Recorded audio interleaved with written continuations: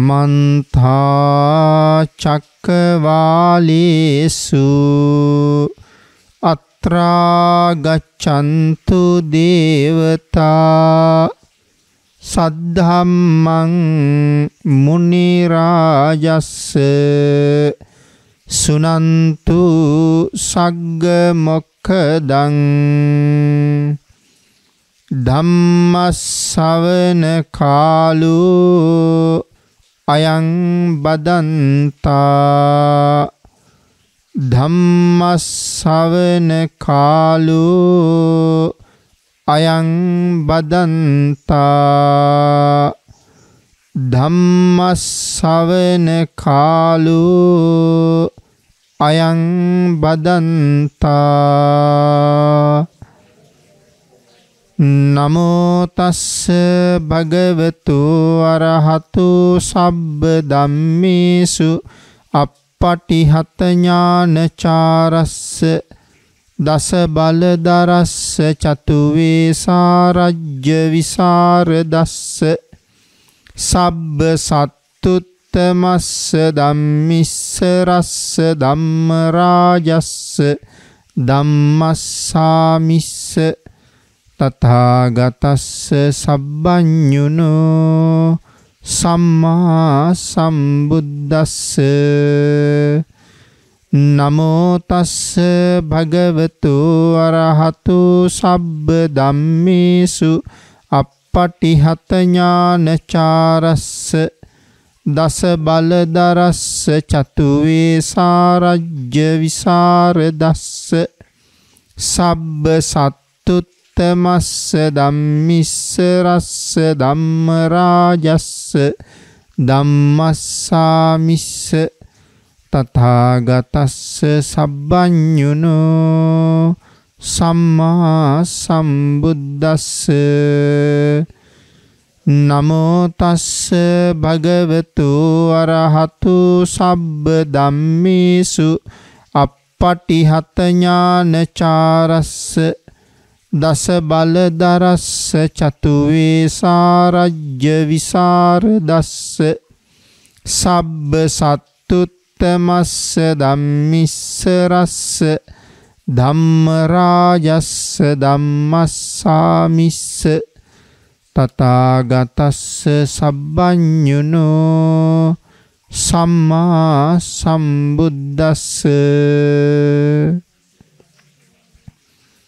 සද්ධර්ම ශ්‍රාවක සදහැවත් කාරුණික පින්නතුනි බොහෝම ශ්‍රද්ධාවෙන් යුක්තව සියලු දෙනාම සූදානම් වෙන්නේ තිලෝගුරු ශාන්තිනායක සම්මා සම්බුදුරජාණන් වහන්සේ විසින් ලෝක සත්වයන් පිළිබඳව අසීමිත දයාවෙන් කරුණාවෙන් මෛත්‍රියෙන් යුක්තව අවබෝධ කරගෙන දේශනා කොට වදාළ පරම ගම්බීර වූ ශ්‍රී සද්ධර්ම රත්නයෙන් බොහෝම පුංචි කොටසක් දේශනා කරවගෙන ධර්ම ගෞරවය පෙරදරි කරගෙන දේශනාගත ධර්මයේ ශ්‍රවණය කරන්නත් එසේ ධර්ම ශ්‍රවණය කිරීමෙන් ලැබෙන අවවාද අනුශාසනා තම තමන්ගේ ජීවිතවලට එකතු කරගෙන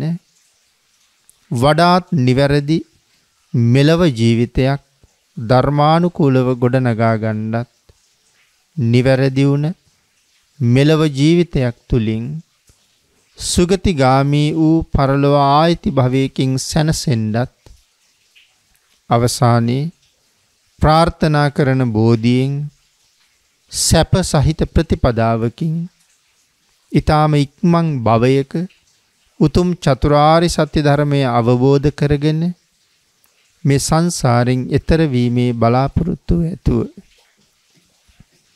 ඒ උතුම් බලාපොරොත්තු උතුම් ප්‍රාර්ථනා එලෙසින්ම මුදුන්පත් කර ගැනීම සඳහා මේ උතුම් වූ ධර්ම දානානිසංසයත් ධර්ම ශ්‍රවණානිසංසයත් තම තමන්ගේ ජීවිත කාලයේ පුරාවට මෙතෙක් සිදු කරගත්ත සියලුම කුසල ධර්මයන්ගේ ආනිසංසත් හේතු වේවා කියලා ප්‍රාර්ථනා කරමු. පින්නතුනි අද ධර්මදේශනාවේ මාතෘකාව හැටියට මම යොදා ගන්න කල්පනා කළේ උතුම් වූ ධම්මපද පාළියේ බ්‍රාහ්මණ වර්ගයේ සඳහන් වෙන ලෝතුරා බුදුරජාණන් වහන්සේ දේශනා කොට වදාළ තවත් අපූරු ගාථාරතනයක්.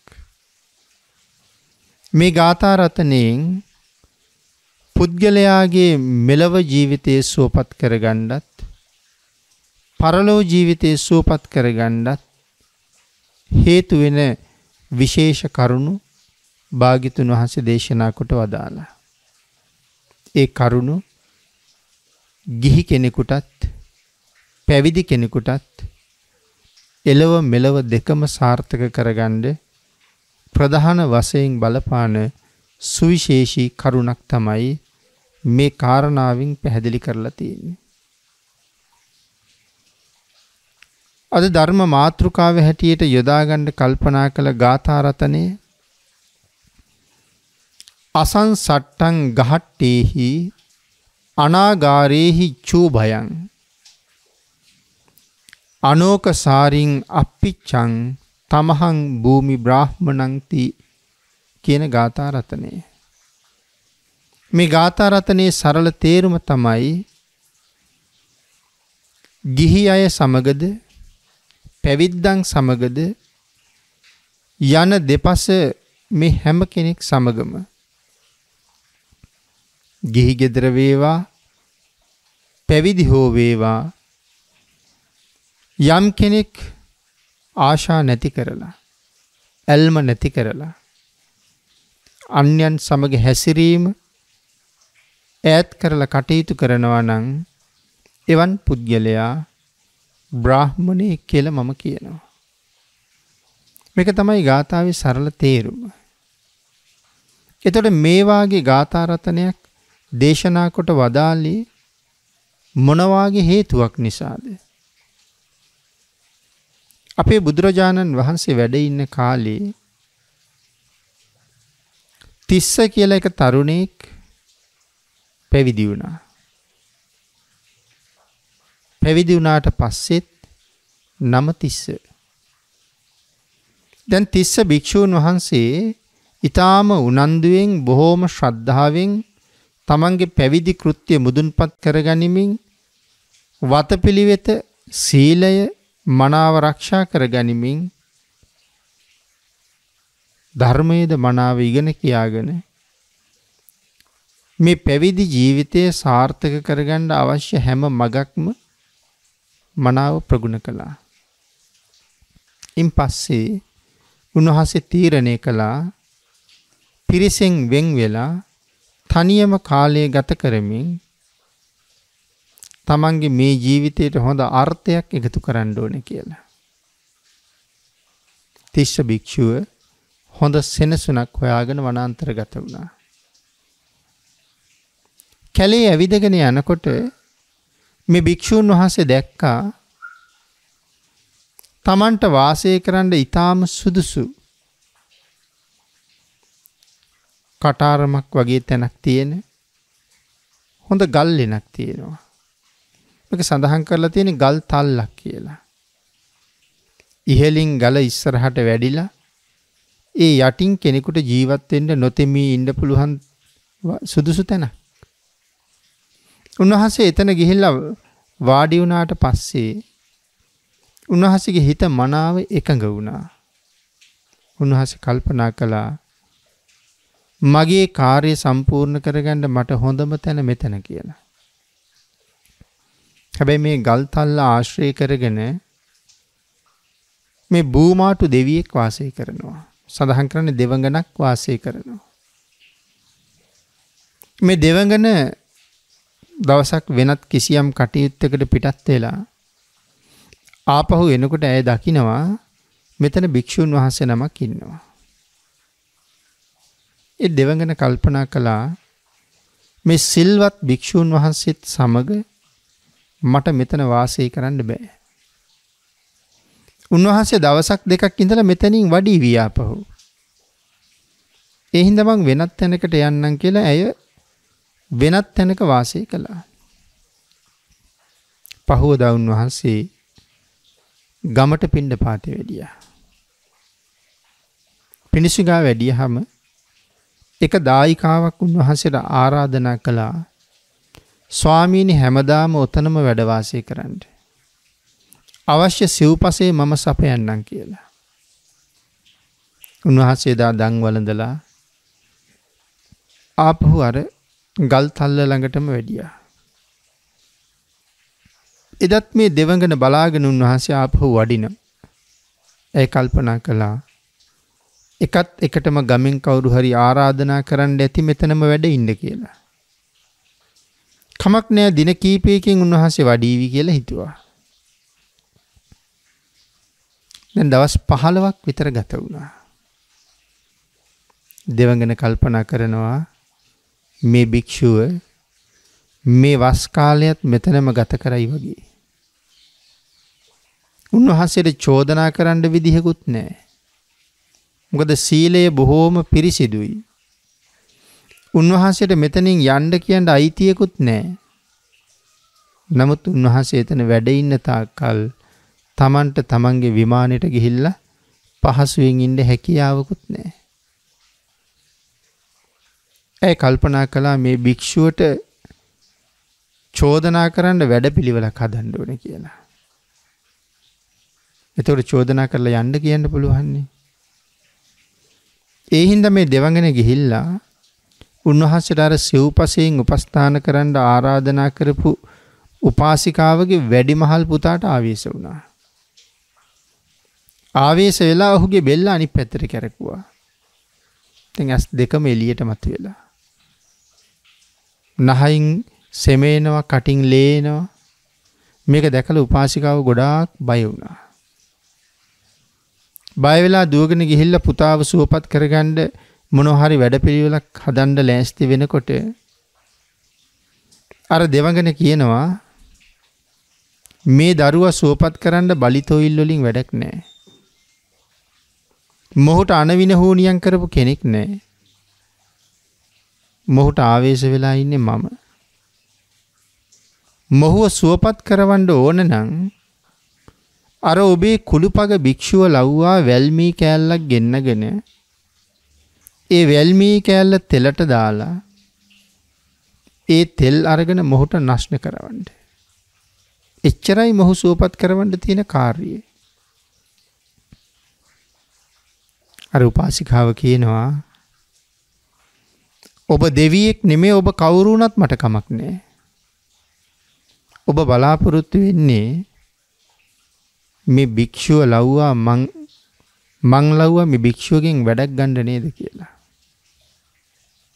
ඇ සඳහන් කළා සිල්වත් ගුණවත් භික්‍ෂුවක් ලව්වා මම කවදාවත්ම වැඩක් කරවගන්නේ නෑ. උන්වහන්සේ ලව්වා මම කවදාවත් වෙදකමක් කරවන්නේ නෑ. මේ දරුව මැරිල ගියොත් මැරිල ගියාවි කියල සඳහන් කළා. ඒකින් අපිට අවබෝධ වෙන කරුණු කීපයක් තියෙනවා. ඇය මේ ශාසනය ගැන හොඳට දන්නවා. ඇය භික්‍ෂූන් වහන්සේ කවුද කියලා හොඳට දන්නවා. මනාව ධර්මය පිළිබඳව අවබෝධයක් තියෙන කෙනෙක්. ඇයි පිනතුනි ශාසනය ගැන දන්නවා කියලකීවි. භික්‍ෂූන් වහන්සේ නමක් ලව්වා වෙදකමක් කරවගන්න එක කොයි තරං වරදක්ද කියන කාරණාව ඇය කල්පනා කළා. එකන වැඩක් ගණ්ඩ වෙනවනි. භික්ෂුවක් ලව්ව වැඩක් ගණ්ඩ සිද්ධ වෙනවා. එතකොට ඒ කාරණාවෙන් තමන්ට මොන තරං අකුසල් සිද්ධ වෙනවද. මේ කාරණාව කියනකොට අපිට තව මතක් වෙන කරුණක් තියෙන්ඩෝනේ. අපේ ශාසනයේ මහවපාසිකාව කුජ්ජුත්තරා. කුජ්ජුත්තරා උපාසිකාව දාසියක්. ඒ වගේම කුදු වෙච්ච කෙනෙක්. එකන කුදු වූ උත්තරා කුජ්ජුත්තරා. ඇයි ඇය කුදු වෙලා ඉප දෙන්නේ පෙර භවයක පසේ බුදුරජාණන් වහන්සේ නමකට දන් දුන්නා. ඇයි විතරක් නෙමේ ඒ ගමේ මිනිස්සු. හැබැයි මේ පසේ බුදුරජාණන් වහන්සේගේ කිසියම් ආබාධයක් තියෙනවා පාදී. එනිසා උන්වහන්සේ වඩිනකොට අර ආබාධය නිසා නිකන් පොඩි කොර බවක් පෙන්නනවා. ඉතින් මෑය තරුණියක් වෙලා අපේ ආර්යයන් වහන්සේ යන්නේ මෙහෙමනි කියලා රඟපාල පෙන්නනවා. ආංගී අකුසල කර්මය නිසා කොර වෙලා ඉපදෙන්න සිද්ධ වෙනවා. දාසියක් වුණේයි.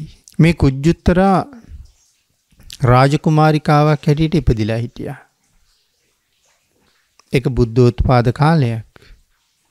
මේ බුද්ධෝත්පාද කාලයේ මේ රාජකුමාරිකාවත් එක්ක මනාව කුළුපගවෙච්ච රහත් භික්‍ෂුණීන් වහස නමක් හිටිය. පිනතනි කුළුපග බව වැඩිවෙන්ඩ වැඩිවෙන්ඩ ගෞරවනීය බව අඩුවෙනවනේ පොද බය නැතුවෙනවා. ඒක එදත් අදත් කාටත් සිද්ධ වෙන දෙයක්. මේ රාජකුමාරිකාව යම් තැනක වාසය කරනවද මේ මාලිගාවට පිණ්ඩපාති වැඩියහම අර රහත් භික්‍ෂුණීන් වහන්සේගේ සිරිතක් තිබුණා තමන්ගේ යෙහෙලිය වැඩ යෙහෙලියගේ කාමරයට යන එක. ඒ ලෙංගතු බව නිසා. නමුත් රහතන් වහන්සේට එහෙම බැඳීමක් නැහැ. නමුත් කුළුපග දායිකාවන සමහරලාට සමවයස වෙන්ඩත් පුළුවන්. ඉති එක දවසක් ඇය වාසය කරන තැනට යනකොට ඇය පැං සැනසින ඇවිල්ලා සූදානන් වෙන වෙලාව. කැඩපත දිහා බලාගෙන ඇය සැරසෙනවා.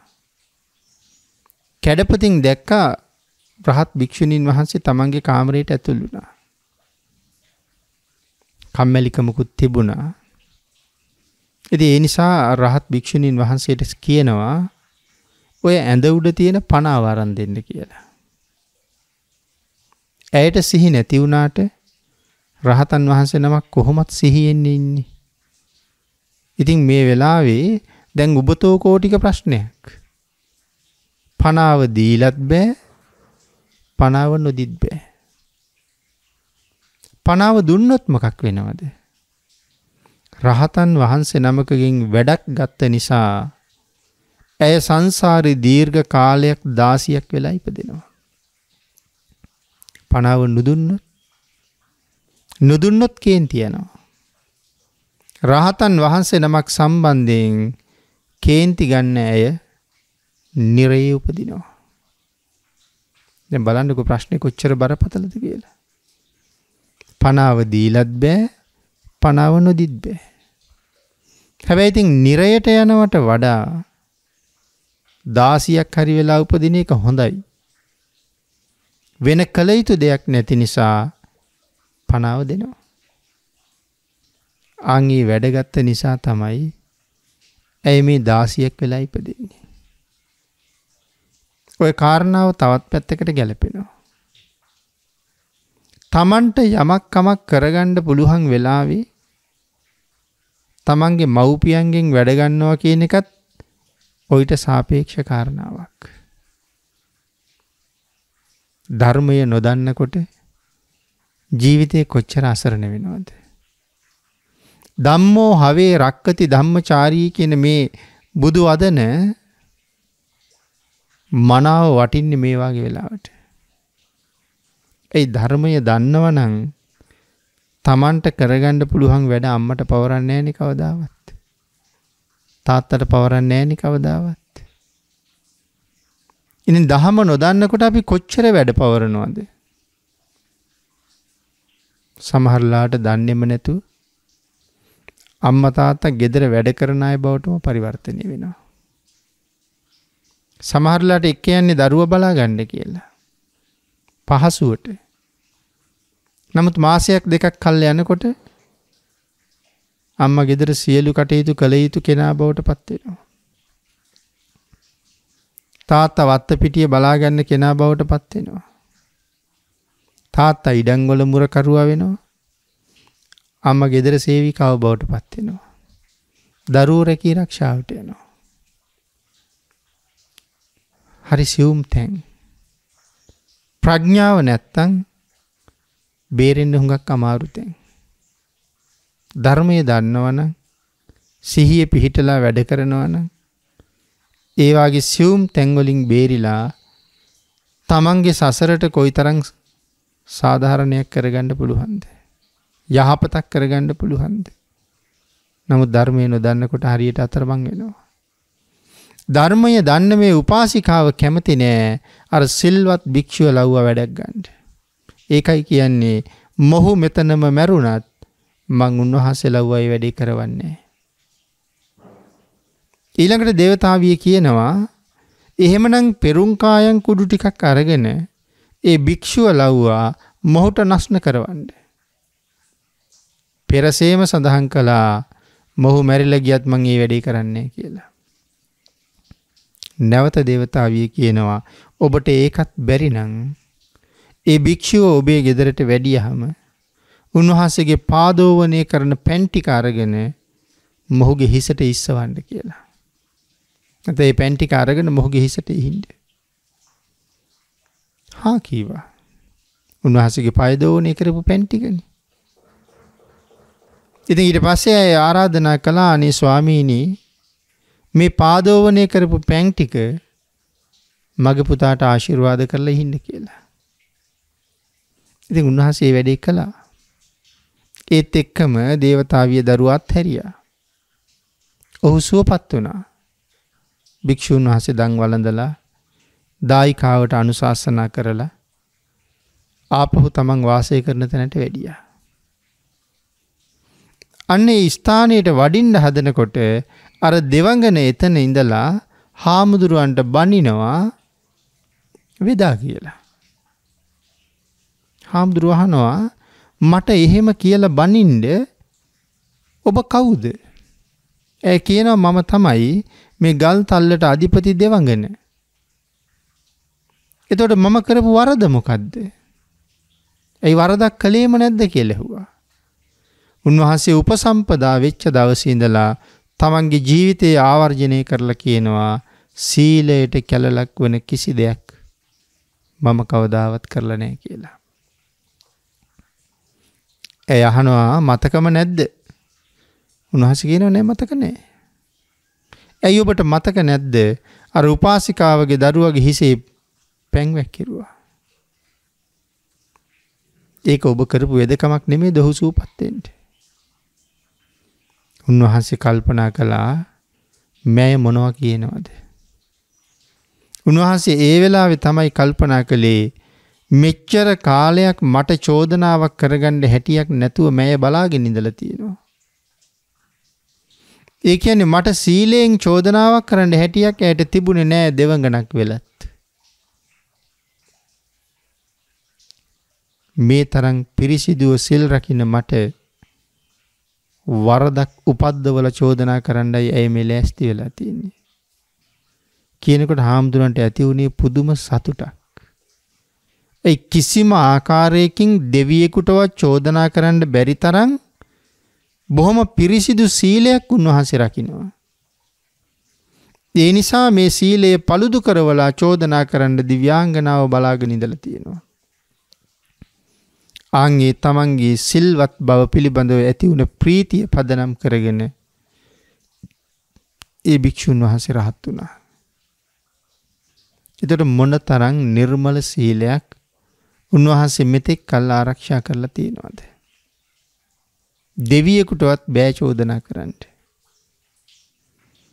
වස්කාලෙත් නිමා වුණා. උන්වහන්සේ එතනින් පිටත් වෙලා ආපහු විහාරයට වැඩියා. භික්‍ෂූන් වහන්සේලා උන්වහන්සේ ගැන උන්වහන්සේ වාසය කරපු තැන ගැන්න ඒ වගේ මෙතෙන්ට වෙලා ඉඳගෙන මහනකම සම්පූර්ණ කරගත්තද කියලා ප්‍රශ්නයක් ඇහුවා.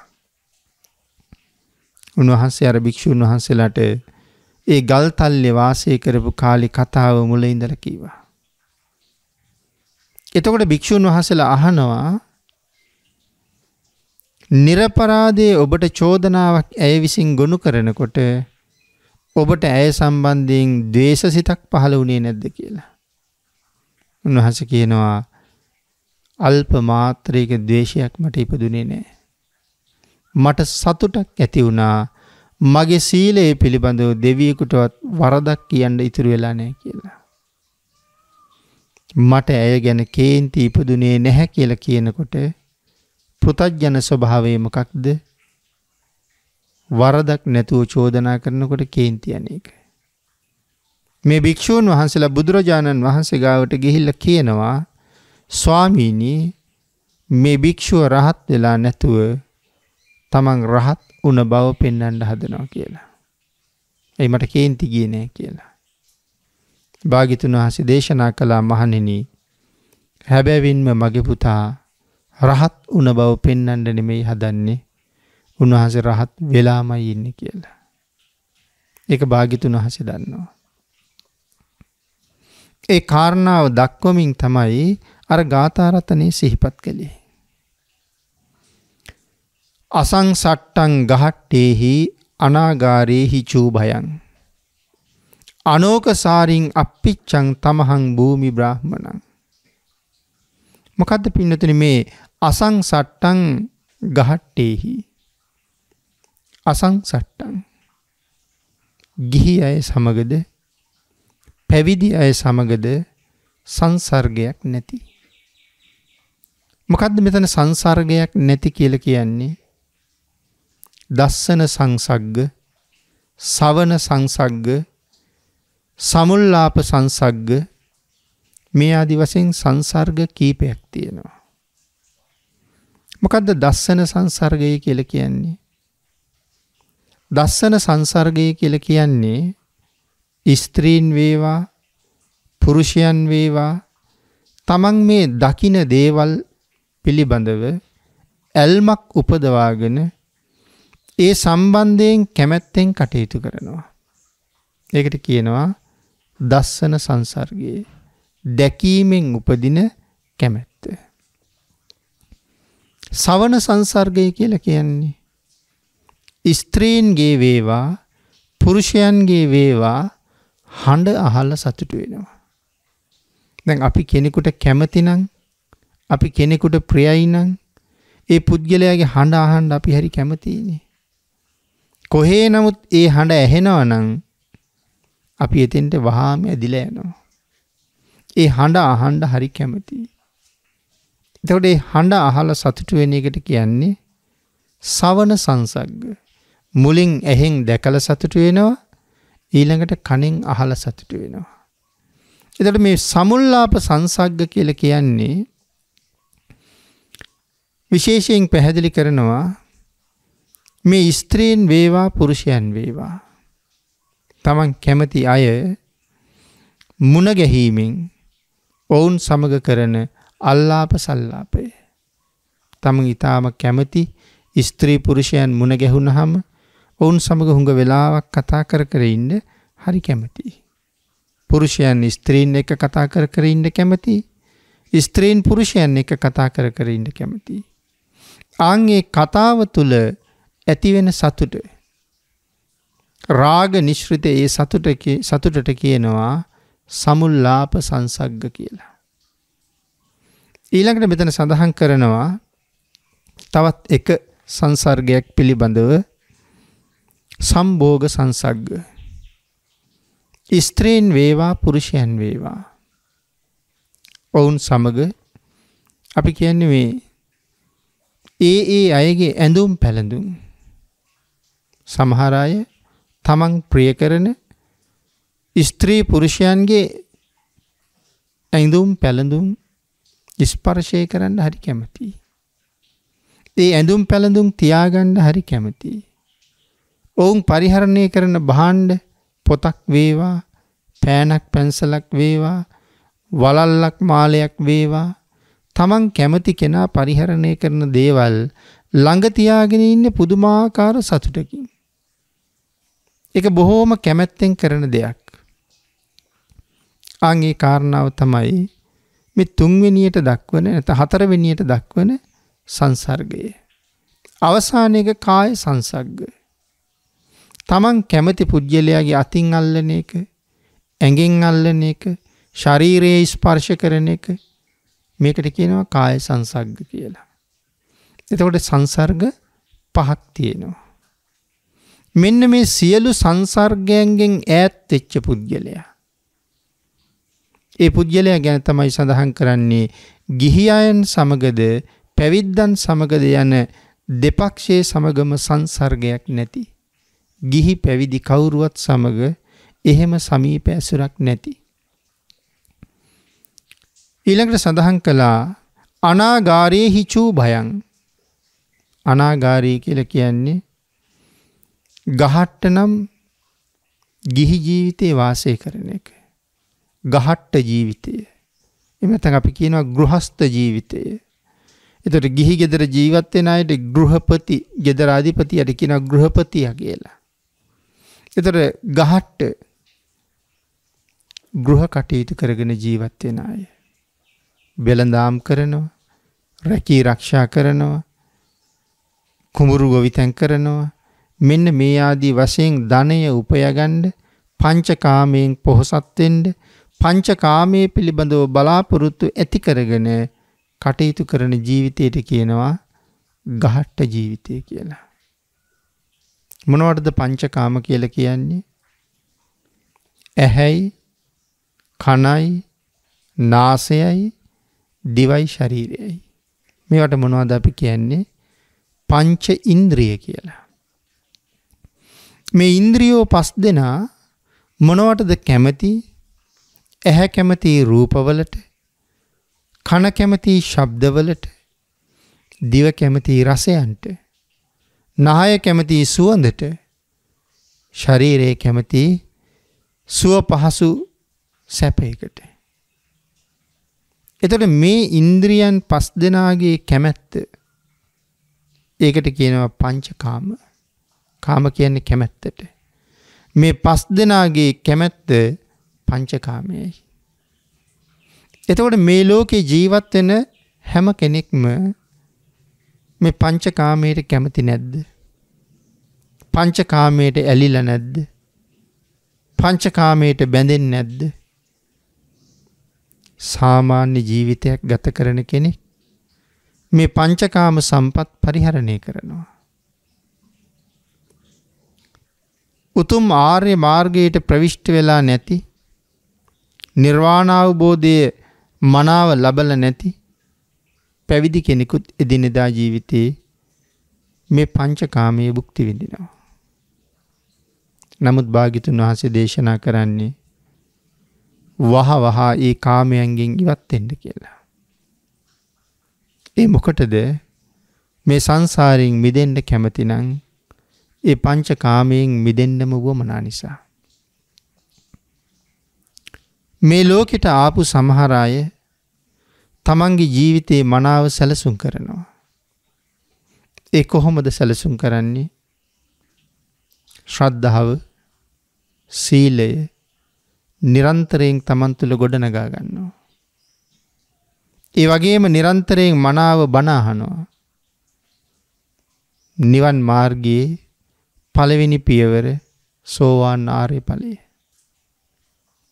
යම් කෙනෙක් සෝවාන් වෙන්න බලාපොරොත්තුවක් තියෙනවා නම් ඒ සඳහා උත්සාහ කරනවා නම් ඒ පුද්ගලයා සම්පූර්ණ කළ යුතු අනිවාර්ය අංගවලින් එකක් මොකක්ද? බණහන එක.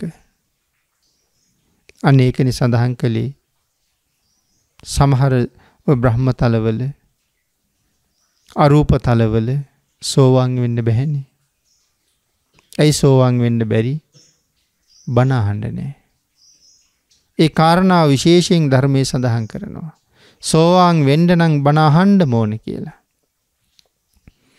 එතකොට ඥානවන්තයා මේ ලෝකෙට ඇවිල්ලා තමන්ගේ ජීවිතය හොඳට සැලසුම් කරනවා ඇයි සැලසුම් කරන්නේ මම මෙහාට ආවේ ඇයි කියන කාරණාව මනාව තේරුම් අරගන්න නිසා. ඇත්තටම අපි මෙහාට ආවේ ඇයි මේ කර කර ඉන්න දේවල් කරන්නද අපි මෙහෙ ආවේ. අපි මේ එකකටවත් නෙමේ මෙහෙ ආවේ. අපි මෙහෙ ඇවිල්ලා ඉන්නේ මදිවෙච්ච පින් සම්පූර්ණ කරන්න. ඇයි කාලයක් සක්විති වෙලා හිටපු අය මේ ඔක්කොම. භාගිතුන් වහන්සේ ගෙරීන් රෑනක් දිහා බලාගෙන කරපු ප්‍රකාශය අහල තියෙනවන්නේ. ගෙරීන් රෑනක් පාරමාරු වෙනවා. ගෙරීන් ගැනි කූමින්ටන කොඩෙයි කූමින්ට තමයි ගෙරීන් කියන්නේ. විශාල කූමිරෑනක් පාරහරා ගමන් කරනවා. බුදුරජාණන් වහන්සේ මේ කූමිරෑන දිහා බලාගෙන සිනහාවක් පහල කළා. ඒක දැකල හාමුදුරුරු වහනවා ස්වාමීනි ඇයි සිනහ පහල කළේ කියලා. මහනෙන මේ ගෙරීන් අතර සක්විති නොවිච්ච එක්කෙනෙක්වත් නෑ කිවා. කූම්බි දිහත් බලලා එහෙම සඳහන් කලා නං අපි සක්විති නොවුනායද මේ සංසාරෙ කොයි තරං සක්විති වෙලා ඉපදිල ඇද්ද. මේ සංසාර ගමන කොයි තරං ඔබත් මමත් බඹලොව ඉන්ඩ ඇද්ද. මේ සංසාර ගමනි කොයි තරං අපි දෙව්ලොව හිටියද. සක්විති බවින් මිදිල බඹලොව ඉපදිනවා. දෙව්ලොව ඉපදිනවා. බඹලෝ වාසය කරන්න අපි ගාව තිබිච්ච කුසල ශක්තිය මදිවුණ නිසා අපි බඹලුවින් දෙව්ලොවට එනවා. උසස්ම දිව්‍ය තලවල තිබිච්ච දිව්‍ය සැප වින්දනය කරලා ඒ දෙව් සැප විඳින්ට තරම් ප්‍රමාණවත් පින ඉවරුණාට පස්සේ ඊට පල්ල හැදිව්‍ය තලයකට එනවා. එහෙම පහලට පහලට පහලට ඇවිල්ලා පල්ල හැම දිව්‍ය තලෙත් ඉන්ඩ පින් මදිවෙච්ච නිසා තමයි අපි මනුස්ස ලෝකෙට ඇවිල්ල තින්නේ. ඒ මොකටද මගෙන් වැයවුන කුසල් ටික ආපහු රැස් කරගෙන හිටපු තැන්වලට ආයත්‍යයන්ට. ඒකටයි මෙහෙ ආවී. නමුත් මෙහෙ ආවට පස්සේ වැයවුන කුසල් එකතු කරන එකද මිනිස්සු කරන්නේ තියෙන කුසලයත් වැෑ කරගන්නවා. ආපහු එකතු කරලා පුරුවනුවට වඩා තියෙන ටිකත් ඉවර කරනවා. ඒ ඉවර කරන එක තමයි මේ මනුස්සලෝක කරන්නේ. මේ බුක්ති විඳින්නේ පෙරපිනනේ. පෙරකරගත්ත කුසලයයි මේ බුක්ති විඳින්නේ. ඉතින් බුක්ති විඳිනකොට ඒ පින ඉවර වෙනවා. හැබැයි ඊට වඩා හම්බ කරන්න පුළුවන් තැනක් මනුස්සලෝකේ. වැෑ වෙනවට වඩා වේගෙන් හම්බ කරන්න පුළුවන් තැනක්. මේ ජීවිතයේ ඉඳගෙන අනාගත ජීවිත කෝටි ප්‍රකෝටි ගණනකට හම්බ කරන්න පුළුවන් වැඩ පිළිවෙලක් කවුද කියල දුන්නේ බුදුරජාණන් වහන්සේ. හැබැයි අපි ඉන්න ඒ හම්බ කිරීමේ නෙමේ. අපි උදේ ඉඳල රෑවෙනකං මහන්සි වෙනවා සමහරය රෑඉඳල එලි වෙනකනුත් මහන්සි වෙනවා. සමහරය අව්ව වේලි වේලි කාලෙකට මහන්සි වෙනවා. සමහරය වැස්සේ තෙමි තෙමිත් මහන්සි වෙනවා. සමහරය කාර්යාලයක පුටුවක ඉඳගෙන පැය අටක් තිස්සේ මහන්සි වෙනවා. මේ මහන්සි වෙලා මහන්සි වෙලා හම්බ කරගත්ත දේවල් වලින් එක සත විසි පහක්වත් ඊළඟ ජීවිතයට ගෙනියන්න පුළුවන්ද. ජීවිත කාලයක් තිස්සේ පුළුවන් කාලෙ කරගත්ත ඔක්කොම දේවල් මෙහෙදාලා එතෙක් මම හෝදල කවල පොවල පෝෂණය කරලා සතපෝපු මගේම වෙච්ච ඇඟත් මෙහෙදාලා මම දවසක මෙලවින් යනවා. අනික් කිව්ව නෙමේ මම මම කියාගෙන හිටපු මේ ඇඟත් දාලා යන්නේ. එතට ඊළඟ ජීවිතයට මොනව දරන් යන්නේ. මෙලවින් ගෙනියන කිසි දෙයක් කිසි දෙයක් නෑ ඊළඟ ජීවිතයට. එමනම් මට මොනවද මගේ සන්තකව මාත්තක එන්ඩ තියන්නේ. කල්්‍යානංවා පාපකංවා තස්සදායාදූ භවිස්සාමීති. මගේම දායාදය කර්මය කුසල් සහ අකුසල් තමයි මට අරං යන්න තියන්නේ. එතොට බුදුරජාණන් වහන්සේ දේශනා කළා අනාගත ජීවිත කෝටි ගානක් සුවපත් කරගණ්ඩ මෙලවින් ගෙනියන්ට හම්බ කරන්න කියල කුසල්. ඒ හම්බ කිරීම කරන්න පුළුවන් මෙලෝදිමයි. නිකම් මෙහෙම හිතන්ට. දානයේ. දක්කින විභංග සූත්‍රයෙන් දානය ගැන භාගිතුන් වහසේ බොහෝ කරුණු දේශනා කළා. බුදු නොවිච්ච සමහරය නම් කියන්නේ නිවන් දකිින්ට දානය ඕනෙ නෑ කියලා. හැබැයි සව් කෙලෙස් නසපු සර්වඥයන් වහන්සේ දේශනා කරන්නේ නිවන් මගේ පළවෙනි පියවර දානය කියලා. ඒ නිසා බොහෝ කරුණු ළඟ දානය මුල් තැනගත්තා. ත්‍රවිධ පුුණ්‍යයක් ක්‍රියා ගැන කතා කරනකොටත් අපි දාන සීල භාවනා කියල පටන් ගන්නේ. දසදාන වස්තුව ගැන කතා කළත් මුලින් කතා කරන්නේ දානය ගැන. සතර සංග්‍රහ වස්තුව ගැන කතා කළත් මුලින් කතා කරන්නේ දානය ගැන. එතකොට දක්කින විභංගි කොහොමද සඳහන් කළේ දක්කින විභංග සූත්‍රයේ පෞද්ගලික දාන දාහතරක් දේශනා කරනවන්නේ. එහි අවසාන කාරණාව මොකක්ද තිරිසං සතෙකුට කෑම දෙන එක. තිරිසනෙකුට කෑමවේලක් දුන්නහම අනාගත ජීවිත කීයකින් මගේ බඩිගිනි වේදනා නිමෙනවද අනාගත ජීවිත සීයක් බඩිගින්න ඉන්න වෙන්නේ නෑ. දුස්සීල මිනිහෙකුට කෑම දුන්නහම අනාගත ජීවිත දාහක බඩිගිනි වේදනා නිමෙනවා. පෘතජ්ජන සීලවන්තයකුට කෑම දුන්නහම අනාගත ජීවිත ලක්සේක බඩිගිනි වේදනා නිමෙනවා. අහසින් යන තවසෙකුට කෑම වේලක් දුන්නහම අනාගත ජීවිත කෝටි ලක්ෂයක් බඩිගින්න ඉන්න වෙන්නේ නෑ. තිසරණ තියෙන කෙනෙකුට කෑම වේලක් දුන්නහම අනාගත ජීවිත අසංකෙයක් බඩිගින්න ඉන්න වෙන්නේ නෑ. තිසරණයි පන්සිලුයි දෙකම තියෙනවනං අනාගත ජීවිත කීයක් බඩිගි නිවේදනා නිමෙනවද කියන එක ධර්මය සඳහන් කරලනෑ.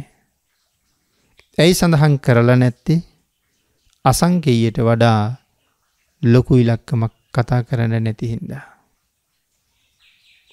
නමුත් තිසරණ තියෙන කෙනෙකුට දුන්න හම අසංකෙයක් නං තිසරණයි පන්සිලුයි තියෙනවනං ඊට වඩා හුඟක් වැඩී. ඉතින් මේ කාරණාව ලොවතුරා බුදුරජාණන් වහන්සේට පූජා කරන පෞද්ගලික දානය දක්වාම ඉස්සරහට යනවා. එතට මම සඳහන් කළා අනාගත ජීවිත කෝටි ගානකට හම්බ කරන ක්‍රමයක් මේ බුද්ධාගමේ කියල දීල තියෙනවා කියලා. තිසරණ තියෙන එක පුද්ගලයකුට කෑමවේලක් දීලා. නිවන් දකින තුරු මගේ සංසාරයේ උපදින තාක් අසංකෙයක් කාලයක් උපදිනවනං ඒ මුළු කාලෙම බඩිගින්න ඉන්ඩ වෙන්නේ නෑනේ දෙතකොට. එතකොට ආහාර ආහාර දන්දුන්නහම අන්නදෝ බලදෝ හෝති. ආහාර දුන්නහම මොනවද ලැබෙන්නේ කෙටියෙන් කියන්නේ බලය ලැබෙනවා කියලා. නමුත් ඒ අට්ට කතායි විස්තර කරනකොට කියනවා ආයුෂය ලැබෙනවා වර්ණය ලැබෙනවා සැපය ලැබෙනවා බලය ලැබෙනවා ප්‍රඥාව ලැබෙනවා මේ පංචවිධ කාරණාවක් හම්බ වෙන්නේ ආහාරය නිසයි. එනම් තිසරණ තියෙන කෙනෙකුට ආහාර වේලක් දුන්නහම මේ කාරණා පහින් මාසංකෙයක් ලැබෙනව නේද. එතට වෙන ක්‍රමයක් වෙන්න මේ ලෝකයේ වෙන කිසිම ක්‍රමයක් තියෙනවද සංසාරය අනාගතයට එහෙම හම්බ කරන ක්‍රමයක්. අන්න ඒවාගේ තමයි දසදාන වස්තුවම දන්දී ගත්තහම නැවත නිවන් දකිනතුරු උපදින සංසාරයේ මට අහවල්දී අඩුයි කියල දෙයක් නෑනේ. බුදු දහම තියෙන කාලෙක ලබන්ඩ පුළුවන්නං ශ්‍රේෂ්ඨ මනුස්ස ජීවිතයක් ඒ මේක මේ ලෝකෙ මොනතරං උත්තරීතර ජීවිතයක්ද. පින්නතින රං රිදී මුතු මැනික් ගොඩවල් ගහල හැම්මත් තැනම විසුරෝල දාලා තියෙන තැනකට අත් දෙක නැති මිනිහෙක් යනවා. එතෙන්ට ගියා කියලා අත් දෙක නැති මිනිහට වැඩක් තියෙනවද. ඔහුට මැනික් අහුලන්ඩත් බෑ ඕට රත්තරං අහුලන්ඩත් බෑ ඕට දියමන්ති අහුලන්ඩත් බෑ. හැබැයි අතපය දෙකම තියෙන මිනිස්සු වෙතෙන්ට අවුත් ඇති තරං අහුලලා පුරුව ගන්නවා. බුද්ධාන්තරයක් ලැබිල තියෙන වෙලාවි. සීලයේ මූලික කරගෙන යමෙක් ගුණධර්ම සම්පූර්ණ කරගන්නේ නැත්තං භාග්‍යතුන් වහසගේ උපදේශයට කීකරුවෙන්නේ නැත්තං අත් දෙකම නැති මිනිහෙක් ඇටියටයි කියන්න වෙන්නේ. මොකද මේ තුනුරුවන් පදනම් කරගෙන කොයි තරම් පින් කරන්න පුළුවන්ද? සතර අපායෙන් විදෙන්න වැඩ කරන්න මොන තරම් අවස්ථාව තියෙනවද? ඒ අවස්ථාවෙන් ප්‍රයෝජන නොගෙන පංචකාමයේ අන්ධ වෙලා සැලස්මක් නැතුව මේ ජීවිතේ විතරක් සුවපත් කරගන්න දඟලලා දඟලලා මැරලා යන මිනිස්සු නෙමේ අපි අතර වැඩි. මම නිතරම කියන්නේ ඒකයි පිනක් දහමක් කරන්න යමු කියලා කියහම මේ කාමයෙන් අන්ධ වෙච්ච මිනිස්සු කියන්නේ පුළුවන් වුණොත් එන්නම් කියලා. එහෙම නැත්තම් එන්න බලන්නම් කියලා. එහෙම නැත්තම් කියන්නේ එන්න නම් කැමති කොහෙද අපිට හරියට වැඩන්නේ කියලා. කවද්ද ඒගොල්ලන්ට නිමාඩුවක් ලැබෙන්නේ? කවද්ද ඒගොල්ලන්ට විවේකයක් හම්බ වෙන්නේ? වකුගඩුව දිය වෙලා අක්මාව ඉදිමිලා පිළිකාව හැදිලා ලෙඩ ඇඳේ තැම්පත් වෙච්ච දවසට තමයි ඒගොල්ලන්ට විවේක තියෙන්නේ. නමුත් එදාට මුකුත් කරන්න පුළුවන්ද? එදාට කරගන්න බැරි වෙච්ච දේවල් ගැන කල්පනා කර කර කඳුළුවක් කරන්න විතරක් පුළුවන්කම තියෙනවා. Tamanට වඩා ලාභාල අයත් හුඟක් පින් කරනවා. Tamanගේ වයසේ පින් කරගත්ත අය අර ලෙඩ ඇඳේම ඉඳගෙන ඒ ඇත් ලෙඩ වෙලා. නමුත් ගොඩක් පින් කරලා.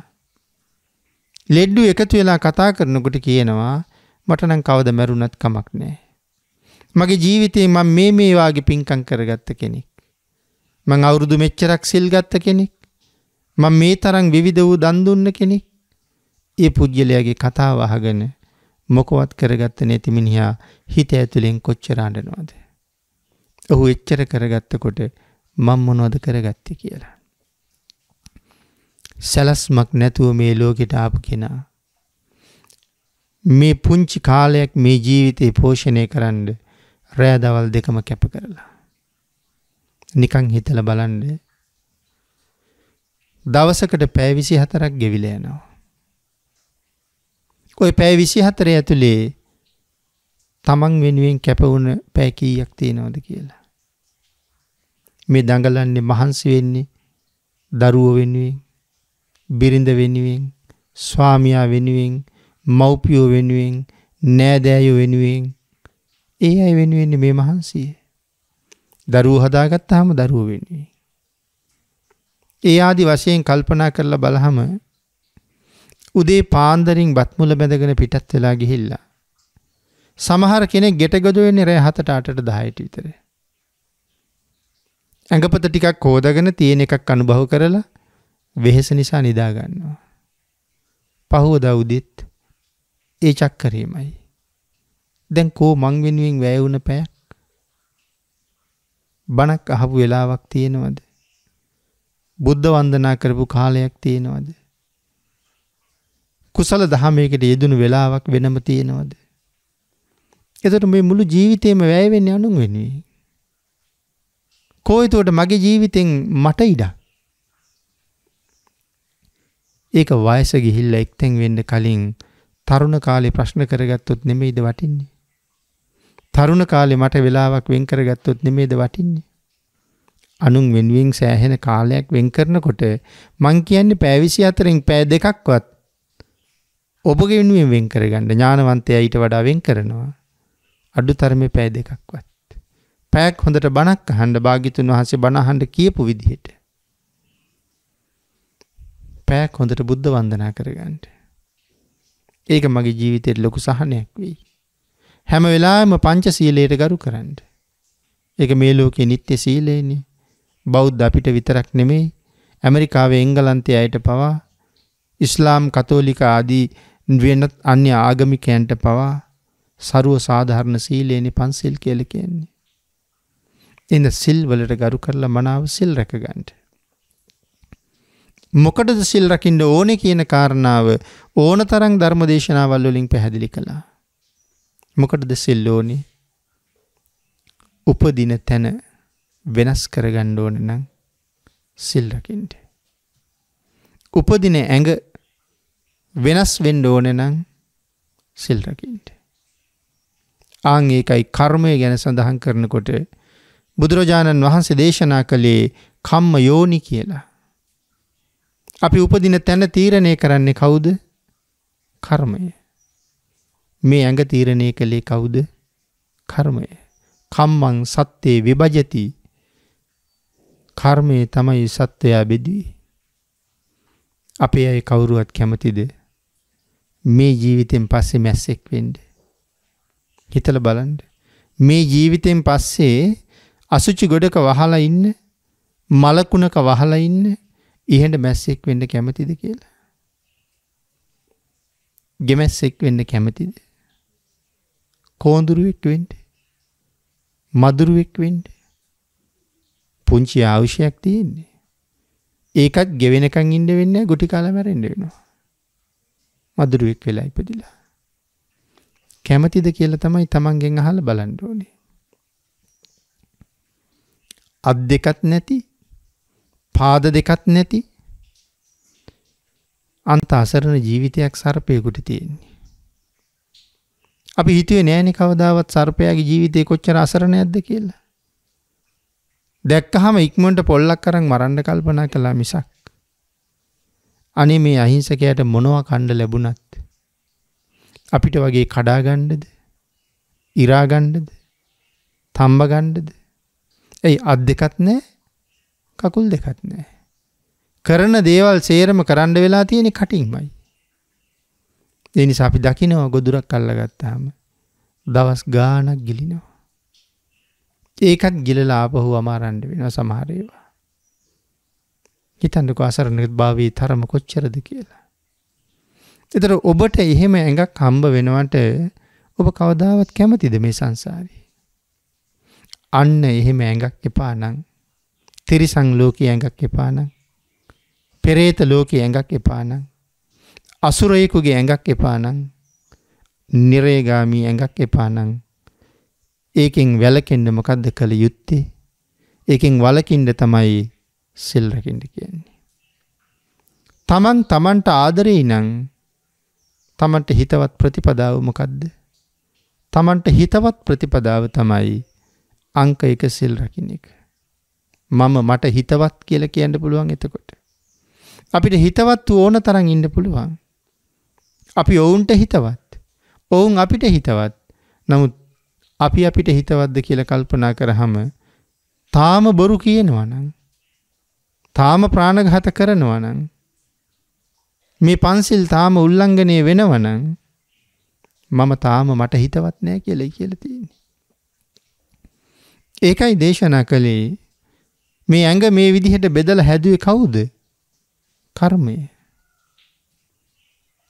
ඒකයි කිවේ කම්ම යෝනි මං උපදින තැන තීරණය කරන්නේ කර්මය. කල්්‍යානංවා පාපකංවා තස්සදායාදෝ භවිස්සාමීති මේ ලෝකෙ මට තියෙන එකම දායාදය මම කරගත්ත හොඳ හෝවේවා නරක හෝවේවා කර්මය. කල්්‍යාන කර්ම කරපු අය හොඳ තැන්වල උපදිනවා පාපකර්ම කරපු තැන්වල සතරාපාය උපදිනවා. පාපකර්ම කරපු අය සතරාපාය උපදිනවා. එතකොට තමන් ගැන හිතන්න ඕන මම මගේ ජීවිතයේ මේ වෙනකොට කල්්‍යයාන කර්ම කොච්චරක් කරගන්නද. ඇයි ධම්මපද පාලී තව තැනක භාගිතුන් වහස මතක් කළා. අත්තානං වේපියන්ජඥා. මේ ලෝක ඉපදිච්ච හැමෝම තමන්ට ආදරෙයි. තමන්ට ආදරෙයි නං රක්කෙයියානං සුරක්කිතං ආරක්ෂා කරගණ්ඩ තමන්ගේ ජීවිතය. රැකගණ්ඩ තමන්ගේ ජීවිතේ. තින්න මං්්‍ය තරං යාමං යාම තුනක් තියෙනවා මේ ජීවිතේ තරුණ කාලයයි මැදියම් වයසයි සැඳෑ කාලයයි. පටිජග්ගෙය පණ්ඩිතු ඥානවන්තයා මේ කාලතුනෙන් එකක හෝ තමන්ව රකිනවා. මේ කාලතුනෙන් එකක හෝ තමන්ව රකිනව කියල කියහම තරුණ වයස කෙනෙකුට තීරණය කරන්න පුළුහන්ද මං අනිවාරෙන් සැදෑ සමී සිල් ගන්නවා කියලා. කවුද දන්නේ ඔහු සැදෑ සමයට යයිද කියලා. ඒ තරුණයාට තරුණියට කල්පනා කරන්න පුළුහන්ද මම මැදිවයේ සිල් රකිනවා කියලා. කවුද දන්නේ මැදිවී වෙනකන් ජීවත්තේද කියලා. ආං එහෙමනං මේ ගමන අද පටන් ගණ්ඩ වෙනවන්නේ. එම නේද. ඇයි භාගිතුන් වහන්සේ අර බද්ධය කරත සූත්‍රවල දයහන්න අපූරු ප්‍රශ්නයක්. අජ්‍යේව කිච්චං ආතප්පං. අද කළ යුතු දේ අදම කරන්න. කෝ ජඤ්ඤා මරණං සුවේ කවුද දන්නේ හෙට මැරෙයිද කියලා. ඒ හින්දා මට මේ තරුණ වයසට සැඳෑව සමයට මැදි වියට යනකම් ඉන්න පුළුවන් වෙයිද කියලා දන්නේ ඒකයි අජීව කිච්ඡං ආතප්පං අද කළ යුතු දේ අද කරන්න. පස්සේ පසුතැවෙන්න ඉන්න එපා කියලා කියන්නේ. ආන් ඒ නිසා මේ ලෝකයේ සැලසුම් කරගත් අය ගහට්ට ගෘහ ජීවිතය ගත කරන කෙනා පංචකාමයත් එක ජීවත් වෙනවා. නමුත් තමන්ගේ ජීවිතය මනාව සැලසුම් කරන්න. කළ යුත්ත මොකක්ද නොකළ යුත්ත මොකක්ද කළ යුතු ප්‍රමාණය මොකක්ද මට ඇති ප්‍රමාණය මොකක්ද මේ ලෝකෙට ආපු පළවෙනි කාරණාව පින් රැස් කරන එකන. ඉතින් ඒකට බාධා වෙන වැඩපිළිවෙලවල් පටන්ගත්තහම මගේ වයස ගෙවිල යනවා දන්නෙම නෑ. ගෙවල් දරුවල් හදන්ඩ ඕනේ. නමුත් මට ඕනෙ පින් කරගන්න. නොතෙමී වහලක් යට ජීවත්වෙන්ට. යම් ගයක් නිර්මාණය කරගත්තහම මට ප්‍රමාණවත් කියල ඥානවන්තය හිතෙනවා. මොකද මහ විශාල ගයක් අපි කියම තට්ටු තුනක විතර ලොකු ගයක් හදලා. දැන් කල්පනා කරලා බලන්න වැඩනම් ඉවරයි. මේක අස්පස් කරලා අතුගාණ්ඩ දවස කොච්චර කාලයක් වැෑවෙනවාද. අඩුම තරමේ වරුවක් වච්චයනවා. පුටු ටික පිහෙලා අල්මාරි ටික පිහෙලා ඇඳුම් පැළඳුන් ටික අස් කරලා ඇඳ ඇතිරල් ටික ඕෝදලා තව අලංකාරයට සකස් කරපුයි නොෙක් වැටවල් පිහල සුද්ධ කරලා මේ ටික කරගෙන අතුගාල ඉවරෙනකොට බරුවක් යනවා. උයල පිහල අනික් වැඩටි කරලා ඉරනට දවස ඉවරයි. දෙමට හැමදාම වෙන්නේ මේ ලොකුගේ අතුගගා උයල පිහල ඇඳුම් පැළඳුම් හෝදගෙන ජීවත්තෙන්ට. උදාහරණයක් මම සඳහන් කළේ. අපි කාලෙන් නිකං නාස්ති වෙන තැන්. අන්තිමට වහල්කං කරලා කරලා මැරිල ගිහිල්ල විතරයි තියෙන්නේ. ඉඳ මේ ප්‍රධාන අරමුණ මෙහයාවේ පින් කරගන්නට. ඒකට බාධා නොවෙන විදිහට අනික් හැම කටයුත්තක්ම කරන්න ඥානවන්තයා හැමවෙලා මුත්සුක වෙනවා.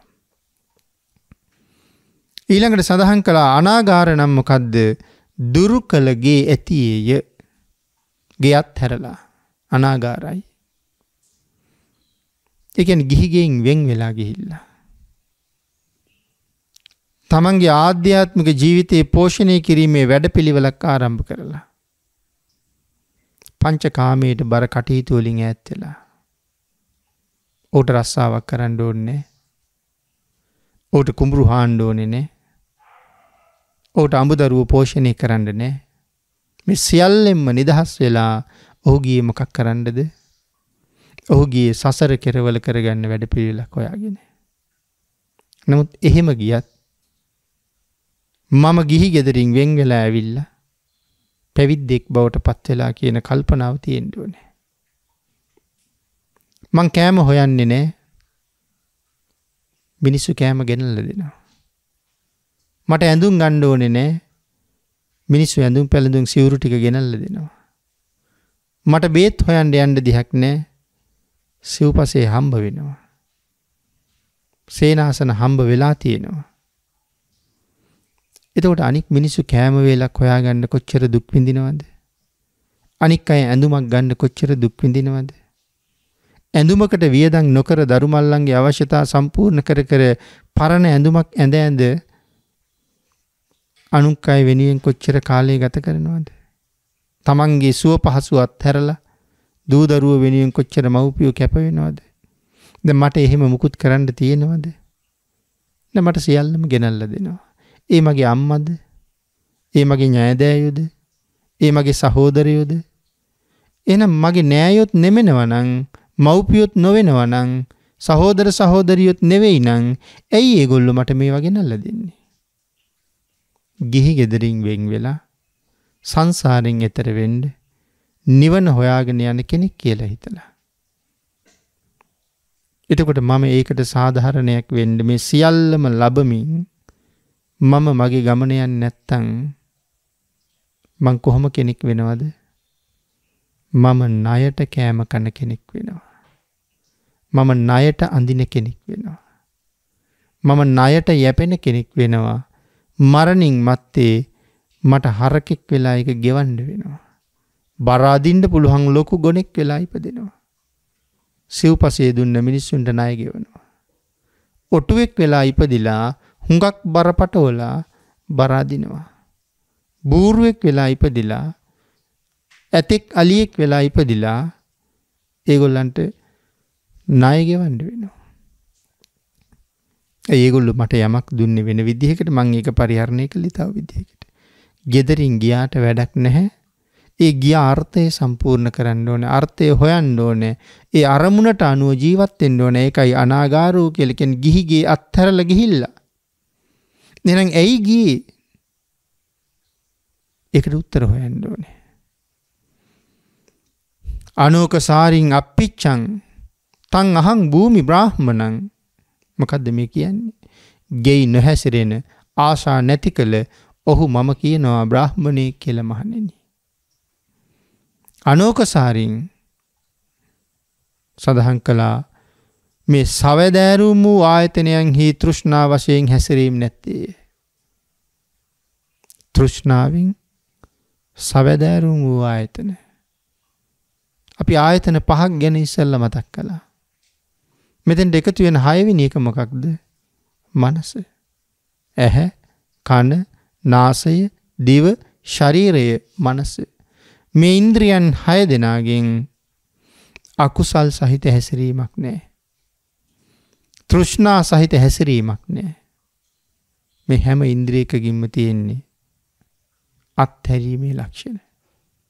තෘෂ්ණාවෙන් අල්ලගත්ත දෙයක් නෑ. ලැබුණ දේ දැම් පරිභෝජනය කළා. එතනින් එහාට ඉවරයි. ආය හෙටට තැම්පත් කරගන්න ස්වභාවයක් ඒ ජීවිතය ඇතුළෙ නෑ. හෙටමනවාද වලදන්නේ කියලා කල්පනාවක් ඒ ජීවිතය ඇතුළෙ නෑ මොකද භාගිතුන් වහසේ උපෝසතය ගැන සඳහන් කරනකොට ගෝපාල උපෝසතය නිගන්ට උපෝසතය ආර්ය උපෝසතය කියලා ආකාර තුනක් පෙන්නවා. මොකදද ගෝපාල උපෝසතය කියල කියන්නේ. අද කෑම කෑවට පස්සේ හෙට කන්නේ මොනවද කියල කල්පනා කරනවා. ගොපල්ල එහෙමනි. අද ගවයෝ ටික තන භූමියට අරගෙන යනවා. රෑට කල්පනා කරන්නේ හෙට කොහාටද ගෙනියන්නේ කියලා. ඒකට ගැන ගෝපාලු පෝසතය කියලා. පැවිද්දෙක් එහෙම නෑ. අද අත්හැරියට පස්සේ අද වැළඳුවට පස්සේ. හෙට වලදන්නේ මොනවද කියලා අද කල්පනා කරන්නේ.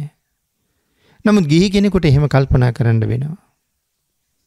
හෙට ලැබුණොත් වලඳනවා. එහෙම නැත්තං හෙට වේලක් වැළඳුවේ නෑ කියලා ජීවිතේ මට අහිමි වෙන්නේ. ඒ පිනතින හරි අපූරු ජාතක කතාවක තියෙන්නේ. කෝටිපතියෝ සියල්ල දන් දීලා පැවිදි වෙනවා. සියල්ල අත්හැරියා. ඍෂි ප්‍රෞජ්‍යාවෙන් පැවිදි වෙලා. එක්කෙනෙක් උපස්ථායකයා. අනිත් එක්කෙනා ගුරු හාමුදුරුවෝ. ඍෂිවරු. පිඬුසිඟාගෙන යනකොට එක දවසක් එක තැනකින් වැඩිපුර හම්බුණා ලුණු. ඊට පස්සේ උපස්ථායකයා මොකද කළේ? අර ලුණු ටික අද දවසට ප්‍රයෝජනයට අරගෙන ඔතල තියලා තිබ්බා. හෙට හම්බුණාට පස්සේ කෑම හෙට කෑම වලට ලුණු මදි. වහාම ගිහිල්ලා අරන් තියාපු ලුණු ටික අරන් ආවා. ගෙනල්ලා ලුණු මිශ්‍ර කරලා ආචාර්යවරයටත් දීලා තමනුත් අනුභව කළා. ආචාර්යවරය අහනවා කොහෙන්ද ලුණු? දෙන්නම කෝටි ගණන් අත්හැරලා ආවේ. මෙයා කියනවා ඊයේ හම්බෙච්ච ටික මං ඉතුරු ටික පරිස්සම් කරලා තියලා තිබ්බා. ආචාර්යවරයා මොකද්ද මෙයාගෙන් අහන්නේ? කෝටි ගණන් ධනය අත්හැරලා ඇවිල්ලා උඹ තණ්හාවෙන් ලුණු ටික ඔතලා තිබ්බද කියලා අහන්නේ. අහපු වචනෙ කොච්චර සැරද කියලා අපිට තේරෙන්නේ නැහැ. හැබැයි අනික් කෙනා කියනවා ස්වාමීනි බැන්නට කමන්නේ ඔච්චර සැරට බයින්න එපා කියලා. අපිට නම් ඒක සැර තේරෙන්නේ නමුත් කෝටි ගාණක් දාලා ආපු කෙනාටයි තේරෙන්නේ ලුණු ටික තියාගත්තා කියලා මට කියපු කතාව කියලා. අන් ඒ වගේ හෙට මොනවද කියලා හිතන්නේ. අද අත්හැරලා කටයුතු කරනවා අනෝක සාරීන් කියල සඳහන් කළේ එකයි. තෘෂ්ණාවෙන් බැඳිල් නෑ කිසිම දෙයක් සම්බන්ධයෙන්. හෙට ලැබුණොත් පරිහරණය කරනවා අද තියෙන දේ අදින් ඉවර කරගන්න. අන්න එහෙම අත්හරින්න පුළුවන් කෙනා අපිච්ච තෘෂ්ණාව නැති කරලා. මම කියනවා ඔහු බ්‍රහ්මණය කියලා. ගිහි පැවිද්දන් හා කාමාස්වාදය විසින් කිසිම එකතුවීමක් නැති. සවදෑරුම් ආයතනයන් තෘෂ්ණා වශයෙන් හැසිරීමක් ආයතනයන්ගේ නැති කළ ඔහු බ්‍රහ්මණයෙක් කියල භාගිතුන් වහන්සේ නැවතවතාවක් ප්‍රකාශ කරනවා. එමනම් මේ සිල්වත් ජීවිතය ගුණවත් ජීවිතය ප්‍රඥාව පාවිච්චි කරලා මම මෙහාට ආවිමොකටද කියන කාරණාව තේරුම් අරගෙන ආපු කාරියට සාධාරණයක් කරන්න ගෙවන ජීවිතය එලවයි මෙලවයි දෙකම සාර්ථකයි. ගිහි කෙනාගේ ජීවිතෙත් එලෙසිම්ම සම්පූර්ණයි පැවිද්දගේ ජීවිතයත් එලෙසිම්ම සම්පූර්ණයි. එන අපි මෙලවට ආවේ වැඩි වැඩියෙන් පින්කං කරගන්ට. ඒ හින්දා මීට වඩා හොඳ තැනකට මරණින් මත්තේ යන්න පුළුවන් කියලා හිතල සතුටු වෙන්ඩ පුළුවන් විදිහට ජීවිතේ පිනෙන් පුරවන්ඩ කටයුතු කරන්න තුනුරුවන්ගේ ආශිර්වාදයෙන් ඔබ සියලු දෙනාටම ශක්තිය ධෛරිය භාග්‍ය වාසනාව උදාවේවා කියලා ආශිර්වාද කරනවා.